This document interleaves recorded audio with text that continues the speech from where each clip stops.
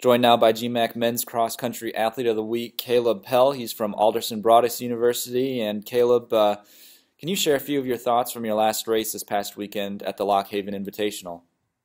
Well, I knew that it was a big field. There was guys from you know Lock Haven, Slippery Rock, so it was really competitive. And I knew that I probably wasn't going to be you know top ten or anything like that.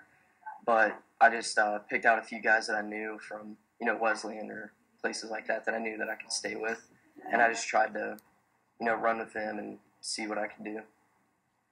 Uh, as you mentioned, uh, it's such a large field, and you managed to clock the sixth best 8K time in the conference this year. Um, how do you evaluate your own improvement throughout the fall, especially since you're a freshman?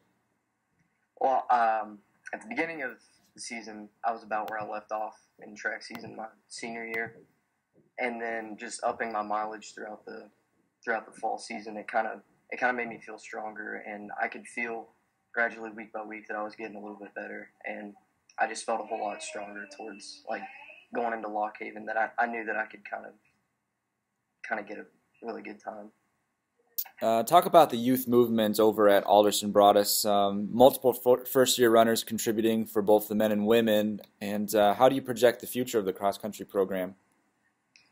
Well, I mean, yeah, we have a lot of good freshmen. They're pretty solid. I mean, I'm the only freshman guy, but uh, we have a couple sophomores on the guys' side that are, I mean, they still have a few years, and I mean, we're getting better each week. The girls, they're, they have a lot of freshmen that are really good, and I mean, they they can run together as a pack, and then or they could spread out, and they just they can take off in a race. They're pretty solid.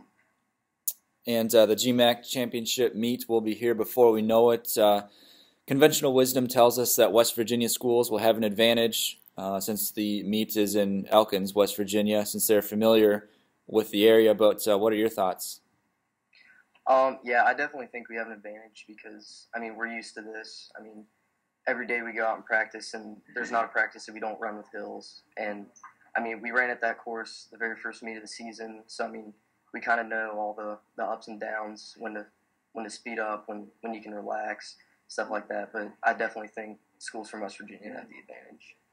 Caleb, thanks for your time today, and uh, best of luck to you in your next meet. All right, thank you.